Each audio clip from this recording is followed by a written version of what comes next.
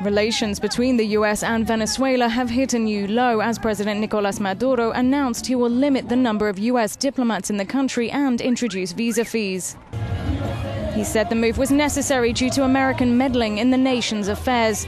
It comes after his government detained US citizens on suspicion of espionage on Saturday. Speaking at what he called the Great Anti Imperialist March in the capital, Caracas, he said, I've ordered the foreign minister to immediately process, in accordance with Article 11.1 of the Vienna Convention.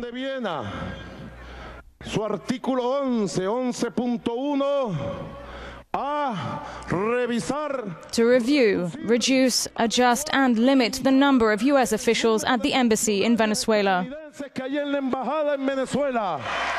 Maduro has renewed accusations that the US is seeking to oust him from power. The opposition say he is creating a smokescreen to distract from the country's economic woes.